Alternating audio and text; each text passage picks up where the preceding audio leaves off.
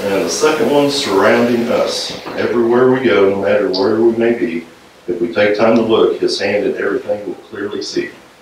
From hollers, hills, and mountains to streams, lakes, oceans, and fountains, sunlight to moonlight every day and night, be it at work or in our homes, with family, friends, or even alone, in a plane or in a car, or train, or bus, his majesty and greatness is always surrounding us. Amen.